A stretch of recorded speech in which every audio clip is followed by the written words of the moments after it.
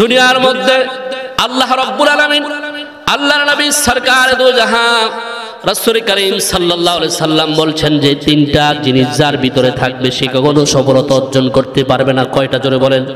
এই তিনটা জিনিস কি? বলতেছে তার জীবনে কখনো সফলতা আসবে না। এই তিনটা জিনিস হলো সেই, এক নাম্বার হলো আমার জীবনে, আপনার জীবনে আমলের ভিতরে কোনো সেরেক থাকা যাবে? জোরে বলুন, যাবে? দুই নম্বর হলো মা বাবার সাথে বেয়াদবি করা যাবে না। তাহলে সফলতা যত নামাজ পড়ি, রোজা রাখি, পর্দা করি, হজ করি, যা করি না কেন, দান সত্যা করি না কেন, খোদার কসম, একটা শেষ দাও আল্লাহর দরবারে কবুল হবে না। তিন নাম্বার, যদি কোনো ব্যক্তি দিন কায়েমের জন্য ন্যায় প্রতিষ্ঠার জন্য জিহাদের ময়দানে চলে গেল। সেখান থেকে যদি আপনি জানের বয়ে পলায়ন করে আসেন, তাহলে আল্লাহ রব্বুল আলমিন আপনাকে সবলতা দান করবে না। দুনিয়ার মধ্যে কোন ধর্ম আছে বৌদ্ধ ধর্ম আছে খ্রিস্টান ধর্ম আছে, যেটা সবচেয়ে উৎকৃষ্ট মনোনীত ধর্ম, সেই ধর্মের নাম হলো ইসলাম। সে ইসলামের মধ্যে আমরা থাকতে রাজি আছি না নাই? জোরে বলেন, আছি না নাই? আরও জোরে বলেন, আছি না নাই? অবশ্যই আছি কিন্তু ইসলামের কালচার আমাদের ভিতরে থাকা দরকার আছে না নাই? ইসলাম যদি বান্দা, যদি তুমি পরিপূর্ণভাবে না মানো, ইসলামের মধ্যে যদি বান্দা তুমি পরিপূর্ণ না ডুটো তাহলে সফলতা কখনো তুমি আনতে পারবে? সফলতা দেওয়ার মালিককে চেষ্টা করতে হবে। আর আল্লাহ তালা সফলতা দান করবে। আল্লাহ রব্বুল আলমিন আপনাকে আমাকে মরার পরে জিজ্ঞাসা করা হবে। এই দুনিয়ার জমিনে বান্দা, আমি তোমাকে সৃষ্টি করেছি। সৃষ্টি করার পরে তোমাকে আমি শিশুকাল কি কাজে লাগিয়েছ? যৌবনকাল কি কাজে লাগিয়েছ? আল্লাহর কাজে লাগাইছো কিনা সেটা সম্বন্ধে জিজ্ঞাসা করা হবে। বৃদ্ধকাল লাগাইছো কিনা সেটা সম্বন্ধে জিজ্ঞাসা করা হবে। কিন্তু মুসলমানেরা শুনে নাও, যৌবনকালে যে বান্দা আল্লাহর ইবাদতে মশগুল হবে, আল্লাহ রব্বুল আলামিন বলেন, সে বৃদ্ধ হয়ে যদি ইবাদত নাও করতে পারে যৌবনকালের ইবাদতের বিনিময়ে আল্লাহ তালা তার বৃদ্ধকালের গ্যাপটা ভরে তাকে জান্নাতের মেহমান বানিয়ে দিবে। জোরে বলি, সুবহানাল্লাহ। রাসূল করিম আলাইহি সাল্লাম বলেন, যেখানে কোরআন এবং হাদিসের কথা বলা হয়, সেটা হলো জান্নাতের বাগান। জোরে বলি, সুবহানাল্লাহ। শুধু তাই নয় দুনিয়ার মধ্যে আর দুইটা জান্নাত আছে। একটা হলো মসজিদ। আমরা যে মসজিদের জন্য এই মাহফিলটা করতেছি, সেটাও জান্নাতের বাগান জোরে বলি, সুবহানাল্লাহ।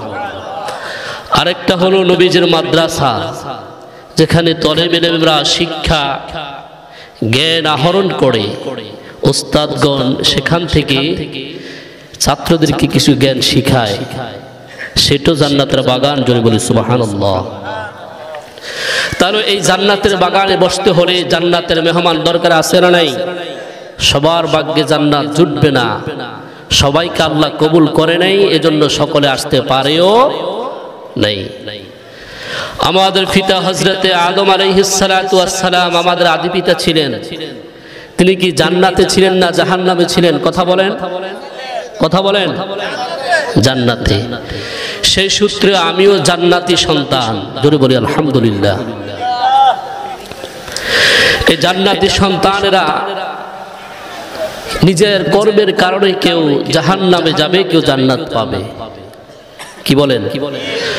হজরতে আদম আলাইহিসালাম মাত্র একটা ভুল করেছিলেন। আল্লাহর একটা কথা অমান্য করেছিলেন। আর আমি আর আপনি যে কত অমান্য করতেছি, এটা কি একবারও খেয়াল করছি? কথা বলেন। একবারও খেয়াল করি নাই, খেয়াল করছি দুনিয়ার ভালোবাসা, লোভ, লালসা সব কিছু পেয়ে মনে করছি এই দুনিয়াটা আমার। আমি যে মরতে হবে এই কথা বা আমার জীবনে আমার জ্ঞানের ভিতরে কল্পনা আমি করি নাই। আজকে আমি যেই ঘরের মধ্যে অবস্থান করি, যেই জায়গা জমি আমি শ্বাস করি, এটা কিন্তু আমাদের বর দাদার দাদার দাদা ছিল ওইভাবে, পর্যায়ক্রমে মুরব্বীরা করে সেই সূত্রে আমি মালিকানা হয়েছি। এরপরে সেই সূত্রে আবার আমার বাবা মালিক হয়েছে, আমি হব, আমার ছেলেরা হবে, আমার ছেলের নাতি যারা আসবে, পর্যায়ক্রমে ভাবে চলতে থাকবে কেয়ামত রাগ পর্যন্ত, ঠিক কিনা বলেন? তাহলে আমি যে দুনিয়ার লোভ লালসা ভালোবাসায় মুগ্ধ হয়ে আল্লাহ আল্লাহ রাসুলকে, দিনকে, ইসলামকে, কোরআনকে বলে গেছি আমাকে যে মরতে হবে, আল্লাহর কাছে যে যেতে হবে, সেই খেল কি একবারও করেছি? কথা বলেন। তাহলে এত বিশাল আয়োজন, কিন্তু মানুষ না থাকার কারণ হলো আমাদের ভিতরে আল্লাহর ভয়, রাসুলের আদর্শ আমাদের না থাকার কারণে। আজকে করোনা ভাইরাস দিন দিন বৃদ্ধি হচ্ছে, একবার এক এক নাম আসতেছে, এর কারণ হলো আমাদের আমলের ভিতরে ঘাটতি আছে, ওয়াজ মাহফিলের অভাব নাই, আমলের কোনো খবর আছে আছে বলেন? নাই। মুয়াজ্জিন আজান দেয়, দোকানপাটে বসে থাকি ফজরে আজান চলতেছে, ঘুমের ঘরে বসে থাকি, এই ঘুমের ঘরে যদি মরণ হয়, কারও কাছ থেকে কোনো কথাবার্তা কিছুই বলতে পারি না। এই যুবক, আপনার মতো, আমার মতো যুবক কবর আছে না নাই? রক্তের গরম আছে না নাই? তারা তো একদিন এই রক্তের গরমে রঞ্জিত হয়ে মানুষের উপর অত্যাচার করেছে, অবিচার করেছে, ক্ষমতা পেয়ে ক্ষমতার অপব্যয় করেছে। আপনার মতো, আমার মতো যুবক ভাই রক্তে রঞ্জিত মানুষকে মানুষ বলে না, বড়দেরকে সম্মান করে না, ইজ্জত করে না। আজকে তারা কোথায়? সেদিকে একবারও লক্ষ্য করেছি। ফেরাউন বলেছিল, আনা রব্বুকুমুল আলা। আমি তোমাদের সবচেয়ে বড় খোদা জোরে বলে আউযুবিল্লাহ ফেরাউনের অস্তিত্ব আল্লাহ তালা দিয়েছে। এ পর্যন্ত মিশরের জাদুঘরে সুটকি অবস্থায় আছে, অনেকে জানেন। কি জানেন না? তাহলে মুসলমান যারা কোরআনের বিরোধিতা করে, মাহফিলের বিরোধিতা করে, আল্লাহ বিরোধিতা, মসজিদ, মাদ্রাসার বিরোধিতা করে, ওই ফেরাউনের কাছ থেকে তুমিও শিক্ষা গ্রহণ করা দরকার আছে না নাই? কথা বলেন। এই বাংলার জমিনে ইসলাম এভাবে আসে নাই কোন নবীর আসলের আগমন ঘটে নাই। আল্লাহ এই বাংলার জমিনে ইসলাম প্রচার করেছে। কিন্তু আজকে দেখা যাচ্ছে আল্লাহ বিরুদ্ধে আরেবুল আমাদের বিরুদ্ধে কোরআনের বিরুদ্ধে মসজিদ মাদ্রাসার বিরুদ্ধে একদল লোক লেগে গেছে। ইসলামকে নিবে দিবে। আল্লাহ তালা বলেন আজ পর্যন্ত এই ইসলামকে কেউ নিবে দিতে চালে তারা নিজেরাই নিবে গেছে ঠিক কিনা বলেন? তাহলে আমি এখানে আসছি আপনাদের সামনে দু চারটি কথা বলার জন্য। যে মহাগ্রন্থ আল কোরআন আল্লাহ তারা আমাদের কি দিয়েছে মানুষের হেদায়তের জন্য? আল্লাহ তারা বলেন, আমি মানুষের হেদায়তের জন্য এই কোরআন দিয়েছি। এই কোরআন মানুষ রিসার্চ করে, খতম পড়বে না, তেলাওয়াত করে তারা নিজের জীবনে বাস্তবায়ন, আমল পরিণত করতে হবে। এজন্য আমি কোরআন দিয়েছি জুড়ে বলি সুবাহ আল্লাহ আরসুল করিম সাল্লাহ সাল্লাম বলেছেন, দুনিয়ার মধ্যে বিদায় হজর বাসনে বলেছিলেন, আমি এই আমার উম্মতি মুহাম্মদের জন্য দুইটা জিনিস রেখে গেলাম। এই দুইটা জিনিস রেখে যাওয়ার পরে এই দুইটা জিনিস যে আঁকড়ে ধরবে, সে কখনো পথভ্রষ্ট হবে না। তাহলে একটা হলো কি? কিতাব যেটা কোরআন, আমরা পড়তেছি। কোরআনের শিক্ষা নাই। আমরা স্কুল, মাদ্রাসা প্রাইভেট পড়ানোর জন্য কিন্ডার গার্ডেনের পড়ানোর জন্য এনজিওতে পড়ানোর জন্য এটা মুসলমানের সন্তানদেরকে কোরআন শিক্ষা থেকে দূরে রাখার জন্য ইহুদি নাস্তেক মুরতাদদের একটা কুচক্রিমল কাজ করতেছে। সকালবেলা মুসলমানের সন্তান কোরআন পড়বে না, বাংলা, ইংরেজি পড়বে। আপনারা কি একমত আছে কথা বলার আছে? নেই? তাহলে ওই এনজিও কিন্ডার গার্ডেনে আপনার সিরিয়াল আপনার অভিভাবক হিসাবে এটাকে বর্জন করতে হবে। আমার ছেলে সকালবেলা মুসলমান স্যান্ডউইচ লাগিয়েছে, আমিও আমিও মুসলমান, আমার বাবা মুসলমান, সেই মুসলমানিত্বের কবরে দাম আছে। কথা বলেন আছে? নেই। আমার বাবা মুসলমান, আমি মুসলমান। সেই সূত্রে আমার দাদা মুসলমান, আমিও মুসলমান, এই মুসলমানিত্বের কোনো দাম আছে বলেন? আমাকে মুসলমান হতে হলে আমাকে যে আল্লাহ বলেছে أيها الذين آمنوا اتقوا الله حق تقاته ولا تموتن إلا وأنتم مسلمون جربري الله أكبر الله رب العالمين বলেন হে ইমানদারেরা, হে মানব সম্প্রদায়েরা, তোমরা একমাত্র কাকে ভয় করবে? জোরে বলুন, কাকে? কোন ডিসিএসপি মন্ত্রীকে ভয় করা যাবে না। মানুষ মানুষকে কখনো ভয় পেতে পারে না। কোন আলেমুল আমাদেরকে মানুষ ভয় করে না। একমাত্র ভয় করব কাকে? জোরে বলুন, কাকে? আর আমি যে মরতে হবে, সদা সর্ব, এইটাই সত্য কথা। এর চেয়ে আর সত্য কথা কোনোটা হতে পারে? মরা তো লাগবে। সত্যবাদী মুসলমান হয়ে আল্লাহ তালা মরার কথা বলেছেন। কিবাদী সত্যবাদী মুসলমান হয়ে যদি বাংলা তুমি এন্তেকাল না করো পরকারের জিন্দিগির মধ্যে আসো, ওই কবরের জায়গাটা তোমার জন্য কঠিন আজাবের ব্যবস্থা আল্লাহ তালা রেখেছে। যদি দুনিয়ার জমিনে মুসলমান, দুনিয়ার জমিনে যদি তুমি ইমান আমল নিয়ে মরতে পারো আল্লাহ রব্বুল আলমিন তুমি মারার সাথে সাথে তোমাকে যখন দাফন কাপনের কাপড় সমাধান করে, তোমাকে রাখা হবে, আল্লাহ রব্বুল আলমিন তোমার কবরটাকে প্রশস্ত করে দিবে। জোরে বলি সুবাহান আজকে দেখা যাচ্ছে মুসলমানের সন্তানেরা আল্লাহর বিরুদ্ধে কথা বলে, নাস্তিক মুরতাদের সাথে লিয়াজু করে ছড়ে। হে যুবক ভাই, পর্দার অন্তরের মা ভুলেরা শোনো এই ইসলাম এমনি এমনি আসে নাই আসার এমনি এমনি আসে নাই।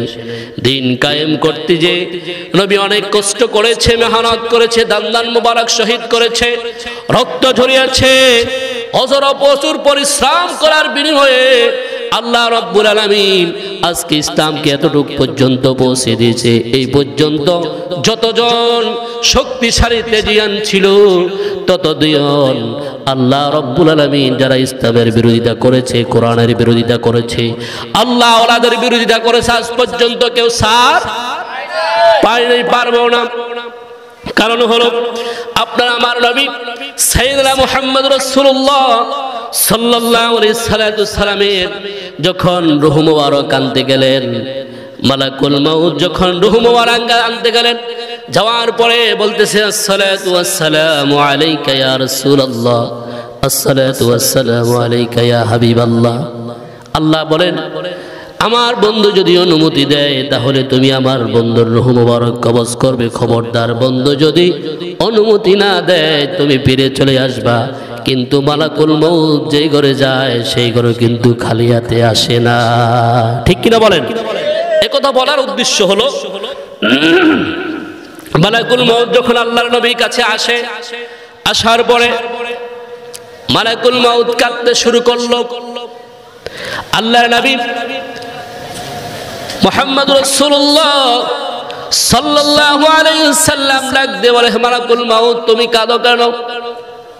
ডাক দিয়ে বলে, মা ইয়াবকিকা মালাকুল মাউত, তুমি কাঁদো কেন? বলতেছে, ইয়া রাসূলুল্লাহ, আমি এজন্য কাঁদি, আপনার জন্য সাহাবাই কেরামেরা অজস্র চোখের পানি ফেলাইতেছে জন্য কাঁদি।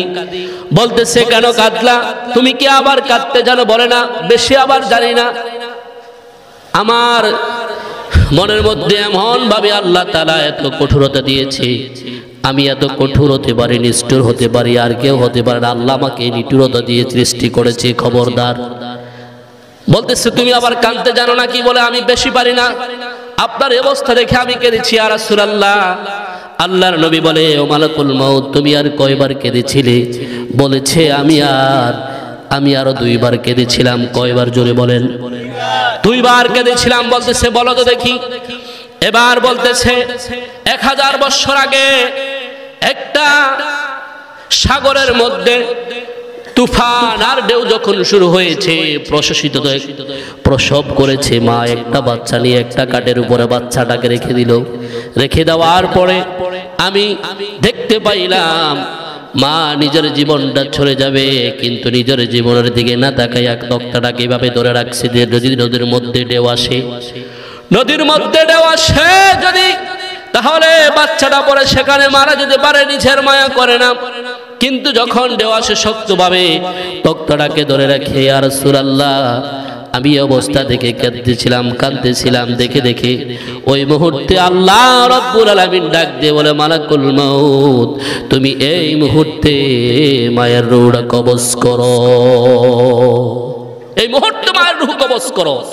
তখন আমার মায়া লেগে গেছে, আমি দুই চোখের পানি ছেড়ে একটু কেঁদেছিলাম বলতেছিলা, ওই মায়ের রুটা কবজ করো, কিন্তু সন্তানটা কিন্তু তক্তার উপরে।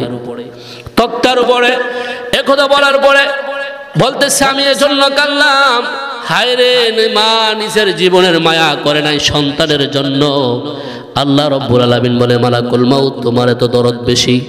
আমার আমার বান্দার, আমি দরদ আমার সবচাইতে বেশি। আমি এই জন্য বললাম।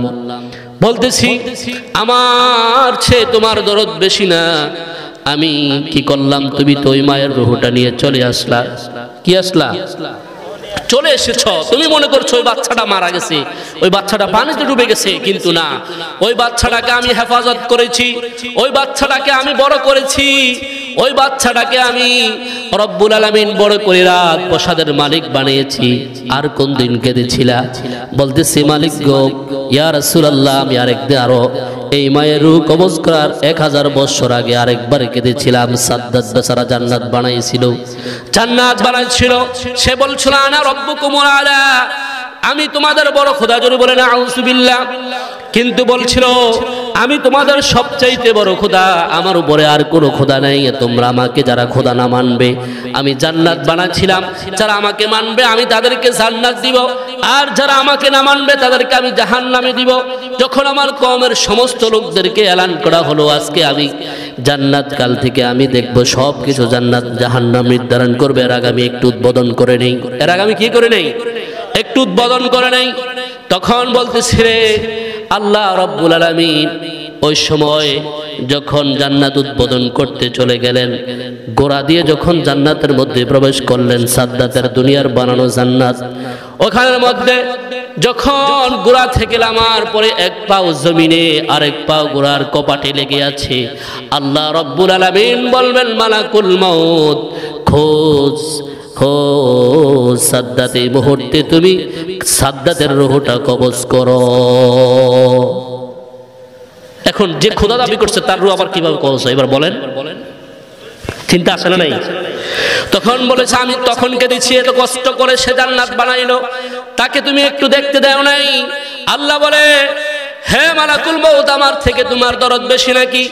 এই লোকটা হলো সেই বাচ্চাটা, যেই বাচ্চাটার মা রু তুমি কবজ করে চলে এসেছ।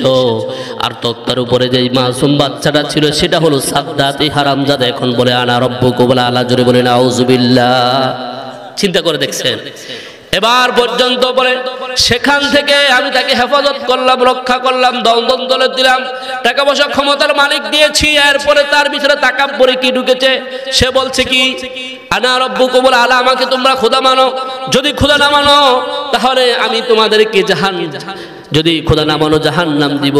আর খোদা মানলে জান্নাত দিব। তাহলে আমি আল্লাহ তালা ওই বাচ্চাটাকে বড় করে রাত প্রসাদের মালিক বানা বসে আজকে খোদা দাবি করে বসছে। এটা হলো ওই বাচ্চা। এটা হাজার বছর আগে তক্তার উপরে মা তাকে ছাড়ে নাই, কিন্তু মা রুহ চলে গেছে, কিন্তু ওই বাচ্চাটাকে আল্লাহ তালা হেফাজত করছে, কি করে নাই?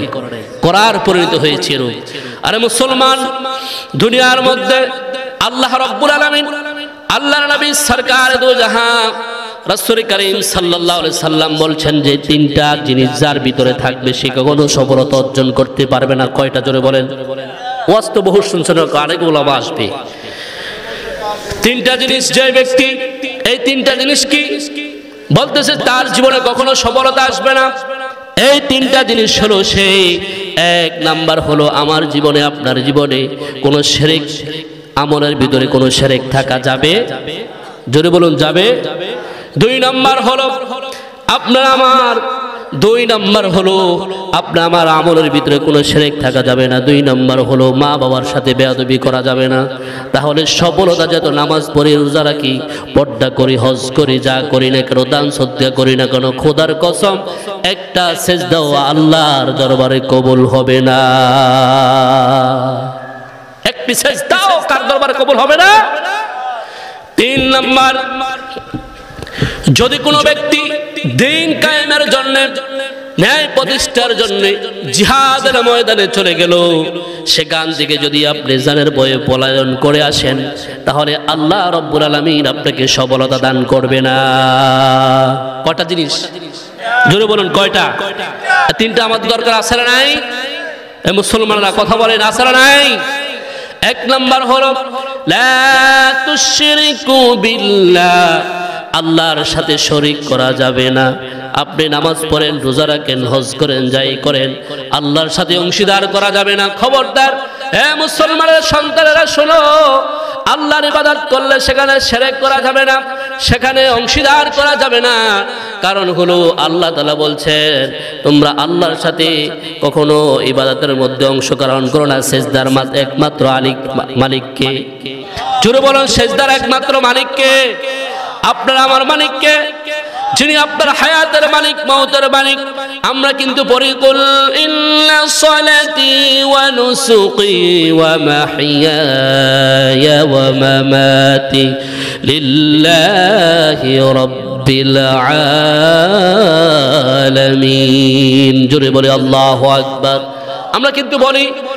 আমার নামাজ, আমার কুরবানি, আমার জীবন, আমার মন সব কিছু উৎসর্গ করলাম কার জন্যে? আল্লাহর জন্য উৎসর্গ করলেন। কিন্তু আমি মুসলমান, আপনি মুসলমান, কিন্তু আল্লাহর কোরআনের বিরোধিতা বাংলার জমিনে আছে না নাই? জোরে বলে আছে নাই? ইসলামের বিরোধিতা আছে না নাই? আলেমুল আমাদের বিরোধিতা আছে না নাই? যে এই জমিনে সে মানুষকে ডিগ্রি থেকে টুপি পরিধান করেছে, আর তখন মানুষকে দুটি থেকে লুঙ্গি পরিধান করেছে শ্রী থেকে মোহাম্মদ ব্যবহার করেছে। এটা কোনো, এটা কোন নবী রাসূলদের আগমন এশিয়া মহাদেশের বাংলার জমিনে এসেছিল নাকি? কথা বলার আসছে? আসে নাই? তাহলে আজকে তাদের বিরোধিতা করি। আপনি সিলেটের জমিনে হজরত শাহজাল আলী আমিনী রহমাতুল্লাহ আলাই হজরত শাহ বরান রহমাতুল্লাহ আলাই তারা কত বড় আল্লাহর অলি ছিলেন। তারা গৌর গোবিন্দর সাথে মাত্র আল্লাহ তাআলা তাদেরকে যুদ্ধে পরাজিত করেছে, শুধু আজানের আওয়াজের বিনিময় জোরে বলেন আল্লাহু আকবার। আজান শুরু হয়ে গেল।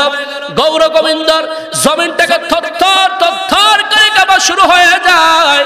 যখন আজান শেষ, গৌর গোবিন্দরকে নিষ্মার করে দিয়েছেন। তিনি আর কেউ নয়, তিনি হলেন আপনার আমার রব। জোরে বলুন, কে? সে আল্লাহ এখন আছে না নাই? জোরে বলেন, আছে না নাই? তাহলে সে আল্লাহর সাথে যদি আপনি শরিক করেন, একমাত্র আমার ইবাদতের মালিক হবে একমাত্র আল্লাহ। দ্বিতীয় আর কেউ কারোর সাথে করা যাবে মানুষ মানুষকে কখনো ভয় পেতে পারে না। মানুষ অট্টরিকার মালিক হতে পারে, ধন সম্পদের মালিক হতে পারে, টাকা পয়সার মালিক হতে পারে, কিন্তু মায়ের ঢয়ে, রোবটের ভয়ে যদি আপনি আরেকজনকে মায়ের ডরে যদি আল্লাহর বিরোধী কথা বলেন, সেটা মুসলমান কখনো মানতে পারে? ওহুদের জমিনের মধ্যে কতগুলা সাহাবি? জুড়ে বলেন, সেই ধর্মের নাম কি? সেই ইসলামের মধ্যে আমরা আছি না নাই? জোরে বলুন, আছি না নাই? ইসলামের মধ্যে সর্বশ্রেষ্ঠ। দুনিয়ার মধ্যে কত সনাতন ধর্ম আছে, বৌদ্ধ ধর্ম আছে, খ্রিস্টান ধর্ম আছে, যেটা সবচেয়ে উৎকৃষ্ট মনোনীত ধর্ম, সেই ধর্মের নাম হলো ইসলাম। সে ইসলামের মধ্যে আমরা থাকতে রাজি আছি না নাই? জোরে বলেন, আছি না নাই? আরও জোরে বলেন, আছি না নাই? অবশ্যই আছি, কিন্তু ইসলামের কালচার আমাদের ভিতরে থাকা দরকার আছে না নাই? ইসলাম যদি বান্দা, যদি তুমি পরিপূর্ণভাবে না মানো, ইসলামের মধ্যে যদি বান্দা তুমি পরিপূর্ণ না ডুটো, তাহলে সফলতা কখনো তুমি আনতে পারবে? সফলতা দেওয়ার মালিককে চেষ্টা করতে হবে। আর আল্লাহ তালা সফলতা দান করবে। একনিষ্ঠভাবে আল্লাহ তালার দিনের জন্য, দিন কায়েমের জন্য জিহাদের ময়দান থেকে এক সাহাবি পলায়ন করেছিল। পলায়ন করার পরে তাকে আর সেখানে আর সামিল করা হয় নাই। তাহলে আজকে যদি মুসলমান, আপনি আমি জিহাদের ডাক যদি আসি, কিন্তু জিহাদের ডাকে যাব না। আপনার মা আপনাকে দিবে না, বাবাকে দিবে না, বাবা কলিজার টুকরা ঘরে থাকো। যা হবার হবে, কিন্তু তুমি যেতে পারবে না, গেলে তোমাকে ওই বেদিনেরা যারা নাস্তিক, মুরতাদ বলগারা কাফেরেরা, বেদিনেরা তোমাদেরকে মেরে ফেলবে। কিন্তু এটা কোনো মুসলমানিত্ব নয়। মুসলমানের ইমান থাকবে তেজিয়ান, শক্তিশালী। হজরত ওমর বিন খাত্তাব রাদিয়াল্লাহু অদ্য শাসক ছিলেন অদ্য জাহানের শাসক ছিলেন। তার জীবনে যদি পড়েন, সেখানে কোনো মুসলমানেরা কি বিজয় হয়েছে কি হয় নাই? জোরে বলেন হয়েছে কি হয় নাই? হয়েছে তাহলে সেখান থেকে কোনো মানুষ না খেয়ে রয়েছে কি সেটাই, সেইটাই তার জানা ছিল। কিন্তু আপনার আমার নামাজ, রোজা, পর্দা, পশিদা, হালাল, হারাম সব কিছু ডিভাইডেড করার মতো জ্ঞান আল্লাহ তালা আপনাকে আমাকে দিছি কি দেয় নাই? কথা বলে দিছি কি দেয় নাই? দিয়েছে। দেওয়ার পরে যদি, এ মুসলমানেরা দেওয়ার পরে যদি সেটা পুঙ্খানুভাবে না মানো তাহলে আমি যে মুসলমান দাবি করলাম, আমার যদি মরতে হবে সেটা যে সর্বসত্য কথা। মরার আগে মরে দেখো তোমার কি আছে। মরার পরে তোমার সাথে আর কেউ থাকবে না, দুইটা জিনিস থাকবে ইমান আর আমল। কটা জিনিস? জোরে বলুন, কয়টা? দুইটা জিনিস থাকবে, এক নাম্বার হলো ইমান দুই নাম্বার হলো আমল। এই ইমান ছাড়া যদি আমল করেন, কাজ হবে। আর যদি ইমান ছাড়া যদি আমল করেন, কোনো কাজ হবে নি ভাই। কিন্তু আমল বরপুর কিন্তু ইমান নাই, এই ইমানের কোনো দরকার আছে আছে বলেন? নাই, দরকার নাই। ইমান আনতে হবে। একমাত্র আল্লাহর উপরে। একনিষ্ঠ ভাবে ইমান আনতে হবে আমাতু বিল্লাহি ওয়া মালাইকাতিহি ওয়া কুতুবিহি ওয়া রসুলিহি واليوم الآخر والقدره وشره من الله تعالى والبعث بعد الموت جرب الله أكبر আর জুড়ে বলে আল্লাহ আকবার এই ষাটটি বিষয়ের উপরে আমাকে ইমান আনতে হবে একান থেকে যদি একটা বাদ দেয় একটা ডিলেট করে দেয় তাহলে পরিপূর্ণ ইমান আনা হলো নি কথা বলেন হয়েছে হয় নাই আপনাকে আমাকে ইমান আনতে হলে এই সাতটা বিষয়ের উপর ইমান আনতে হবে। তাহলে আমি পরিপূর্ণ। ইসলামের মধ্যে দাখিল হতে পারি নাই, প্রবেশ করতে পারি নাই। আল্লাহ রব্বুল আলমিন আপনাকে আমাকে মরার পরে জিজ্ঞাসা করা হবে। এই দুনিয়ার জমিনে বান্দা, আমি তোমাকে সৃষ্টি করেছি। সৃষ্টি করার পরে তোমাকে আমি শিশুকাল কি কাজে লাগিয়েছ? যৌবনকাল কি কাজে লাগিয়েছ? আল্লাহর কাজে লাগাইছো কিনা সেটা সম্বন্ধে জিজ্ঞাসা করা হবে। বৃদ্ধকাল লাগাইছো কিনা সেটা সম্বন্ধে জিজ্ঞাসা করা হবে। কিন্তু মুসলমানেরা শুনে নাও, যৌবনকালে যে বান্দা আল্লাহর ইবাদতে মশগুল হবে, আল্লাহ রব্বুল আলমিন বলেন, সে বৃদ্ধ হয়ে যদি ইবাদত নাও করতে পারে যৌবনকালের ইবাদতের বিনিময়ে আল্লাহ তালা তার বৃদ্ধকালের গ্যাপটা পরে তাকে জান্নাতের মেহমান বানিয়ে দিবে। জোরে বলি সুবাহান আজকে মানুষ শুধু গুনার দিকে দৌড়ায়, যৌবনের তারণায়, ঠিক কিনা বলেন? বেশি দিন আর নয়, আমাদের কাছে চলে এসেছে বিশ্ব ভালোবাসা দিবস। চোদ্দই ফেব্রুয়ারি, আছে না নাই? এদের ইহুদি, খ্রিস্টান, নাস্তিকদের কালচার মুসলমানের ভিতরে ঢুকে গেছে। কি বলেন, ঢুকে নাই? আর আপনার সন্তান, আপনার মেয়ে, ইহুদি খ্রিস্টান, তাদের কালচার তাদের ভিতরে থাকবে কেন আপনার আমার ভিতরে থাকবে একজনের কালচার তিনি হলেন মোহাম্মদ কোন নবীর ব্যাপারে, চরিত্রের ব্যাপারে শব্দ ব্যবহার করে নাই। শুধু আপনার আমার নবীর ব্যাপারে আল্লাহ তারা আসিম শব্দ ব্যবহার করেছে। তাহলে বলতেছিলাম, ইবাদত করতে হবে একনিষ্ঠভাবে। কার? জোরে বলেন, কার? আগা আল্লাহর। এখানে কোনো শরিক করা যাবে না। দুই নাম্বার হলো মা বাবার। আমি যে আল্লাহর ইবাদত করি, আল্লাহর ইবাদতের পরে মা বাবার স্থান দিতে হবে, মা বাবার খেদমত করতে হবে। সম্মানিত হাজরিন, ভাইয়েরা আমার, আজকে সমাজের ভিতরে মা বাবার খেদমত আছে না নাই? কথা বলার আছে? কথা বলেন, আছে? নাই? ও যুবক ভাই মায়ের সন্তান তুমি ছিল অনেক ভালো। যখন তোমাকে বিবাহ বন্ধনে আবদ্ধ করা হয়েছে, সাংসারিক একটু সমস্যা থাকতেই পারে। কিন্তু হুট করে আবার মা বাবার সাথে খারাপ ব্যবহার করতে যুবক বাইদারি করে না, দ্বিধাবোধ করে না আসে নাই? আমি যত বড় আলেম হই না কেন, যত বড় মুফতি মহাদ্দেদ পিরসাব হই না কেন, বাবা মার সাথে যদি বেয়াদবি করি, বাপ মা যদি আমার প্রতি অসন্তুষ্ট থাকে, তাহলে জিন্দিগির আমল আপনার, আমার কোনো উপকার আসবে উপকার একটু আসবে না। তাহলে বাবার সাথে সুন্দরভাবে করতে হবে, ভালো ব্যবহার করতে হবে। তাহলে সেই স্বীকৃতি দিয়েছেন একমাত্র কে? জোরে বলেন, কে দিয়েছেন? আর জোরে বলেন, কে? আল্লাহ রাব্বুল আলামিন বলেন ওয়াকাদা রাব্বুকা আল্লা তা'বুদু ইল্লা إياه وبالوالدين إحسانا جربني الله أكبر আল্লাহ রব্বুল আলামিন বলেন হে আমার বান্দারা তোমরা সর্বপ্রথম আমার ইবাদত করবে কার ইবাদত জোরে বলুন কার আল্লাহর ইবাদত করবে আল্লাহ তাআলার ইবাদত করার পরে তোমার মার সাথে তোমার বাবার সাথে সদ আচরণ সদ ব্যবহারের কথা বলেছে কি জোরে বলুন কে? আল্লাহ বলেছেন, তাহলে ঝলন্ত একটা প্রমাণ আমরা পেলাম। মা বাবা যদি অসন্তুষ্ট থাকে, তাহলে সে ইবাদাত কোনো আল্লাহর দরবারে কবুল। ফিরে বলেন, হবে। দান সদ্গা করেন, কবুল হবে না। ইবাদাত করেন, কবুল হবে না। বাপ মা অসন্তুষ্ট হলে আমার আল্লাহ অসন্তুষ্ট। যার একজন প্রমাণ হলো আল্লাহ নবীর প্রিয় সাহাবী হজরতে আলকামা রাদিয়াল্লাহু তাআলা খেল করেন। হজরতে আলকামা রাদি আল্লাহ তালা নবীর সাথে নামাজ পড়তেন, রোজা রাখতেন, সব দান সদ্গা করতেন, কিন্তু মা বাবার খেদবত করতেন, কোনো কিছু তার ভিতরে ত্রুটি ছিল? কথা খেল করেন। মা বাবার সাথে কোনো ত্রুটি বিচ্ছুদ ছিল না। সব দিক দিয়ে হজরতে আলকামা রাদি আল্লাহ শরীর সব কিছু দিয়ে সম্পন্ন। কিন্তু হঠাৎ করে যখন বিবাহ বন্ধনে আবদ্ধ হয়ে গেল, আল্লাহর নবীর সাহাবি হজরতে আলকামা রাদি আল্লাহ তালা তার মাকে অনেক কষ্ট দিয়েছে, পানি জড়িয়েছে। কিন্তু যখন মৃত্যুর সাজ্জা হজরতে হালকামা হজরতে আলকামা রাদি আল্লাহ তালা যখন মৃত্যুর সাজ্জায় পড়ে আছে, মৃত্যুর সাথে পাঞ্জা লড়তেছে, আল্লাহর নবীর কাছে কিছু সাহাবি এসে বলি আর ইয়া হাবিবাল্লাহ। বলতেছে আলকামার স্ত্রী এসে বলে, ইয়া রাসূলুল্লাহ, ইয়া হাবিবাল্লাহ, আমার স্বামী আলকামা তো মৃত্যুর সাথে পাঞ্জা লড়তেছে, তাকে একটু কালিমার তালকিন দেন। কিসের তালকিন? কালিমার তালকিন দেন।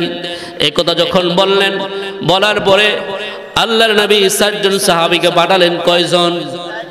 হজরতে আবু বকর হজরতে বেলাল হজরতে আলী হজরতে আমর রদি আল্লাহ চারজনকে পাঠালেন। পাঠানোর পরে যাও তোমরা হজরতে আলকামা একাকে কালিমার তালকিন দিদি থাকো দিদি থাকো। এই চারজন সাহাবি যখন হজরতে আলকামার দি আল্লাহ তারা কালিমার তালকিন দিতে গেলেন, দেওয়ার পরে হজরতে বেলাল ডাক দে বলে, বলো ইলাহা ইল্লাল্লাহ। লা ইলাহা ইল্লাল্লাহ। কিন্তু নবীর প্রিয় সাহাবী হযরতে আলকামার জবান দিয়ে কোনো কালিমার আওয়াজ বের হয় নাই। না হওয়ার কারণে হযরতে আবু বকর রাদিয়াল্লাহু তাআলা আনহাকে জিজ্ঞেস করা হলো, যাও বেলাল, তার জবান দিয়ে যেহেতু আমরা কালিমার তালগিন দিয়েছি, আলকামার জবান দিয়ে কালিমার আওয়াজ বের হয় না। নবীর কাছে যে বলো যাওয়ার কথার সাথে সাথে হজরতে বেলাল বলে, ইয়া রাসূলুল্লাহ, ইয়া হাবিবাল্লাহ আপনার যে সাহাবী মৃত্যুর সাথে পাঞ্জা লড়তেছে, ওই সাহাবী আলকামাকে আমাদের আগে পাঠাইছেন, কালিমার তালগিন দিল। কালিমার তালগিন দেওয়ার জন্য পাঠাইছেন, ইয়া রাসূলুল্লাহ, দিনের নবী গো, আলকামার জবান দিয়ে কোনো কালিমার আওয়াজ বের হয় না, কালিমার তালগিন আওয়াজ বের হয় না। আল্লাহর নবী ডাক বলে, বেলাল, যে দেখো তার মা বাবা কেউ জীবিত আছে কিনা? কিন্তু খোঁজ করতে করতে করতে দেখে আলকামার মা জীবিত আছে। আলকামার মা জীবিত আছে বৃদ্ধ অবস্থায় দুর্বল শরীর। এখন যে বলে আর সুরাল্লাহ আলকামার মা জীবিত আছে, তার বাবা নাই। আপনি বললেন, যাও আলকামার মাকে নিয়ে আসো, যদি না আসে। আমি নবী সেখানে যে তার সম্বন্ধে একটু জিজ্ঞাসাবাদ করব। হজরতে আলকামার দি আল্লাহ আনহার জবান দিয়ে, কেন কালিমা তালগিন আসে না? কেন তালিমার আওয়াজ বের হয় না? এটা অনেক। আমার সাহাবি আমার ভিতরে অনেক লাগতেছে, কি লাগে নাই? কথা বলেন। হ্যাঁ? আমি একজন লোক, একজন ভালো মানুষের লোক, এখন আমার যদি তার সামনে ধরে মারে, অপমান করে, তার মানটি লাগবে না? কথা বলে, লাগবে কিনা? তদ্রুপ আল্লাহ বলতেছে, আল্লাহ নবী বলতেছে, সে আমার সাথে নামাজ পড়তো, রোজা রাখতো, দান সদ্গা করতো সব কিছু ঠিক আছে, কেন তার জবান দিয়ে কালিমার তালগিন বের হয় না একটা রহস্যজনক আছে। বলতেছে, যাও, আলকামার মাকে নিয়ে আসো। নিয়ে আসার পরে আলকামার মাকে বললেন, ও আলকামার মা, আসো, দিনের নবী তোমাকে খোঁজ করছে, একটু খবর দিয়েছে, একটু কথা শোনার জন্য। আলকামার মা রাখতে বলে আমার শরীর অসুস্থ, দুর্বল। এরপরে আমাকে কেন দিনের নবী ডেকেছে? আমার মনে হয় আমি কি কি বিপদে বললাম নাকি? না কোনো সমস্যা হয়েছে নাকি? না আলকামার কোনো সমস্যা হয়েছে? বলতেছে, না না, আমি যাব, আমি দুর্বল হলো, দিনের নবীর কথার অবাধ্য আমি করতে পারব। অবাধ্য হতে পারব না। কথা বলার পরে আলকামার মা দুর্বল শরীর নিয়ে দিনের নবীর সামনে আসলেন। আসার পরে নবী জিজ্ঞাসা করে, ও আলকামার মা, তোমার সন্তান সম্বন্ধে আমাকে কিছু জিজ্ঞাসা করার ছিল বলো। তোমার সন্তানের চরিত্র সম্বন্ধে আমাদের কাছে বলো। তোমার সন্তান কোথায় যেত, কি করতো পার্ট টাইম কোনো অসুবিধার মধ্যে থাকতো কিনা? একথা বলার পরে আলকামার মা ডাকতে বলে ইয়ার সুনাল্লাহ ইয়া হাবিব আল্লাহ আমার সন্তান সব কিছুই ঠিক আছে, কিন্তু আমার সন্তান নামাজের মধ্যে ঠিক আছে পর্দা বসিদার মধ্যে, ঠিক আছে খাওয়া দাওয়ার মধ্যে, ঠিক আছে, দান সদ্গার মধ্যে কোনো কিছু আমার সন্তানের ঘাটতি ছিল না। শুধু একটু সমস্যা, আমার সন্তান বিবাহ করার পরে গো, ও দিনের নবী, আমার ওই তার বিবির কথা শুনে আমার মার মনে এত আঘাত দিয়েছে, আমার চোখে টপ টপ করে পানি চলে আসছে। এজন্য আমি জানা মতো, এতটুকু আমি জানি।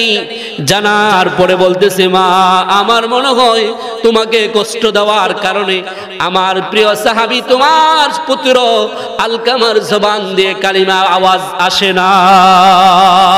হে মুসলমান, কালিমার আওয়াজ কেমনে আসবে? বাপ মার খেদমত নাই, বড়দের কদর নাই, আলমুলামাদের সম্মান নাই, ইজ্জত নাই।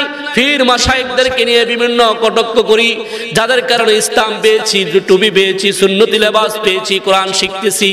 আজকে যারা দিনের করুন পরিশ্রমের বিনিময় দিনের দাওয়াত দিতেছে দিতেছে। কিন্তু আমরা মুসলমান, কিন্তু ঠিকমতো আলিফ বাদা জানি না, আমরা তাদের বিরোধিতা করতেছি, কি করি না? সম্মানিত উপস্থিতি ভাইয়ের আমার। আমি যে কথাটা বলতেছিলাম, সময় সংকট, স্বল্পতার কারণে ডাইরেক্ট আপনাদের কাছে বলতেছি হজরতে আলকামা রাদি আল্লাহ তার কথা মনে আছে না নাই? কথা আছে? মনোযোগ আছে আপনাদের? হজরতে আলকামা রাদি আল্লাহ হুতারা আনহারের যখন চরিত্র বলে, আমার সন্তান আমার বৌমার কথা শুনে আমার মনে অনেক কষ্ট দিয়েছে বেদা দিয়েছে। দিনের নবী গো, আমার সন্তানকে আমি কখনো মাফ করব না। এ কথা যখন বললেন আল্লাহ নবী বলে, মা, আপনার সন্তান আলকামাকে মাফ করে দেন, মৃত্যুর সাজ্জা অনেক কষ্ট পাইতেছে। সে তো আমার সাহাবি ছিল। বলতেছে, সাহাবি থাকা সত্ত্বেও বলতেছে, না না। কিন্তু নবীর সাহাবি পর্যন্ত সেখানে সার পায় নাই। পাইছে নাকি? পায় নাই। এবার বলতেছে, এবার সাহাবাই ক্রামদেরকে জিজ্ঞাসা করতেছো সাহাবাই ক্রাম, তোমরা যারা তাকে তালিমার, কালিমার তালকিন দিতে গেছো আরও কয়েকজনকে ডাকো, শুকনা লাকড়ির ব্যবস্থা করো, আলকামাকে সেখানে রাখে, ওপর দিয়ে নিচের মধ্যে শুকনা লাকড়ি রেখে আলকামাকে রাখো, রাখার পরে তার উপরে আবার শুকনা লাকড়ি রাখো, রাখার পরে সেখানে তৈল দিয়া, অক্টেন দিয়া, এখন একই তৈল দিয়া তাকে আগুনে জ্বালাইয়া দাও। একথা যখন বললেন আর সুরাল্লাহ আলকে বলব, ডাকতে বলে, ইয়া রাসূলুল্লাহ, কেন আমার সন্তানকে আপনি পড়াবেন? তোমা আপনার সন্তান তো আপনার সাথে অপরাধ করেছে। আপনার চোখ দিয়ে পানি জড়াইছে আপনাকে কষ্ট দিয়েছে গো মা। এই সন্তানকে জাহান নামের আগুনে জ্বালার চেয়ে দুনিয়ার আগুন থেকে তাকে আমরা জ্বালায়া দে একথা যখন বললাম, বলার পরে আলকামার মা ডাক দে বলে, দিনের নবী গো আমার আলকামাকে আমি মাফ করে দিচ্ছি। আমার আল্লাহ যে তো আমার আলকামাকে মাফ করে দে জোরে বলি সুবাহান যাও বেলাল, আবার কালিমার তালগিন হজরতে আলকামা রাদি আল্লাহ তালাকে দিতে থাকো। এবার বেলাল রাদি আল্লাহ আনহা যে দেখে বাড়ির কিনারে যে দেখতেছে যখন তার মা তাকে খুশি মনে মাফ করে দিয়ে যন্ত্রণা সব কিছু ত্যাগ করে দিয়ে আল্লাহর কাছে দোয়া করল, আর সে আজিম রব্বি কারিমের কাছে যখন মার দোয়াটা কোনো পর্দা থাকে না, সাথে সাথে অ্যাডজাস্ট হয়ে, কবুল হয়ে যায়। কিন্তু হজরতে বেলাল প্রমাণ করে, আমি আলকামার বাড়ির কিনারে যে দেখি, আলকামার জবান দিয়ে কালিমা আর আওয়াজ বের হয়েছে। জোরে বলি, সুবহানাল্লাহ। সেখানে কোন অলি আল্লাহ, ফিরমা শায়েক আলেমুল আমাদের কথা আছে। যদি বাপ মা অসন্তুষ্ট থাকে, তাহলে কোন জিন্দিগির আমল বরবাদ বাইর আমার। যদি খারাপ ব্যবহার করে থাকি, তাদের কাছে আজকে যে মাপ চাবো বলতে পারেন অনেকের মা নেই, মায়ের সাথে অনেক অত্যাচার করেছি, অবিচার করেছি, এখন কীভাবে মাপ চাইব? মায়ের কিনারে দাঁড়াইয়া, বাবার কবরের কিনারে দাঁড়াইয়া আল্লাহর কাছে দোয়া করেন সুরাফাত ক্লাস পড়ে দুরুদুস সালাম পড়ে, আমার আল্লাহর কাছে দোয়া পড়েন রব্বির রাহমহুমা কামা রব্বায়ানি সগীরা।